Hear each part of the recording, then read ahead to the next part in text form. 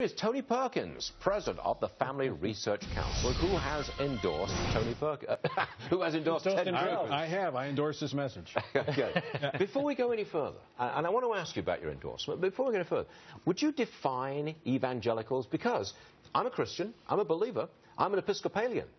But I don't think I'm an, I don't think I qualify as an evangelical. Well, you I? certainly don't sound like a Southern Baptist from Mississippi. But that said, that is a technical term, evangelical. There is established criteria, but in a nutshell, it is one who believes that the Word of God, the Bible, is the uh, infallible, inerrant Word of God, and that salvation is by grace through faith in Jesus Christ alone. One must confess their sins, receive forgiveness, and then walk according to God's Word as is laid out in Scripture. And that's why evangelicals take their Christian principles to the ballot Absolutely, box. they take it everywhere. They're linked. They take it everywhere. And there are 90 million evangelicals in this country. They represent about 50% of primary voters and about a general election voters. So you can't ignore them and expect to win an election. Okay.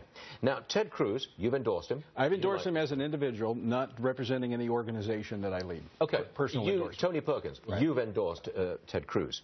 Now, he wears his Christian heart very much on his sleeve. And I suspect that that's not always popular in all sectors of America. Within the Republican Party, that's not necessarily popular. Stuart, that's interesting because just today, Pew, uh, this week, Pew released a poll that says 40% of Americans feel like their elected officials, politicians, should talk more about God and religion. That's up 10% from uh, 2012. I'm surprised. I thought America was turning a bit more secular, ever so gradually, more in our public life. I think it's because of President Obama, his policies that have really been hostile toward religious freedom and the expression of faith in the public square, that there's now a pushback. And people are pushing back, wanting to express their religion, not having to keep it within the four walls of their church or simply in thoughts between their two ears. They want to live their faith, and that is really the mark of an evangelical. Uh, would you comment on President Obama, who today visits a mosque for the first time in his presidency? Well, this is this is a part of the narrative from this administration: hostility toward Christianity, embracing Islam.